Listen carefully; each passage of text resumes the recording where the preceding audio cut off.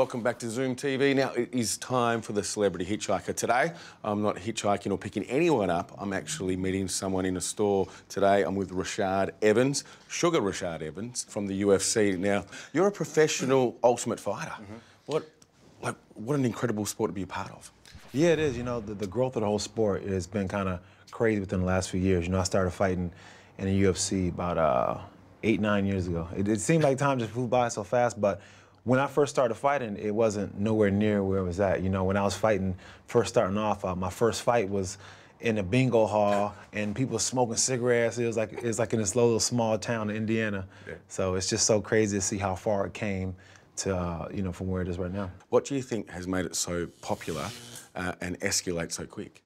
I think one thing that made it so popular is the fact that it's uh, it's a fan-friendly sport, and another thing that makes it so uh, popular is the fact that the fighters, the access to the fighters, you know, they make sure that we're always out there and we stay close contact with our fans. Okay. And the other thing I suppose that I've noticed is that it's a very different fighting style to boxing. There's um, uh, there's almost wrestling and um, karate and all these other things that come into it. Yeah, you know, that's one thing that makes the sport that much more interesting is the fact that there's all these different uh, disciplines. And, you know, you see one fighter goes in between, in and out of different disciplines, you know, between going from punching and striking to doing a takedown, and then from doing a takedown to doing his jujitsu and a submission. So that's kind of the beautiful part of the sport to watch, the art of it all, you know, and um, that's one thing that has also aided to it being so popular is the fact that it can end any way. And it's very strategic, isn't it? Yeah, very much so. When you're in there and you're in a cage, you know, you, you're like, your, your mind, it's like an ultimate chess match, you know, you're playing for keeps. I mean, you know, you're trying to outwit each other because there's so many things you can do. You know, you got to not only watch out for the hands,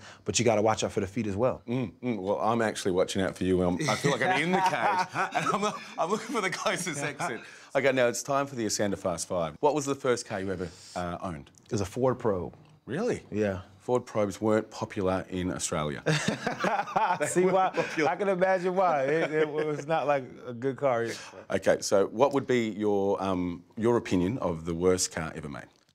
The worst car ever worst looking, worst, worst to drive, worst performing. What is it? The, the Renault? What is it? Uh, The Renault. yeah. Any of them car you're saying? Yeah. What is your opinion of the best car ever? And it could be an old car, it could be a new car. the best car. I like muscle cars, man. Like a '67 Mustang, one of those. And what car do you currently drive? I drive a Cadillac CTSV.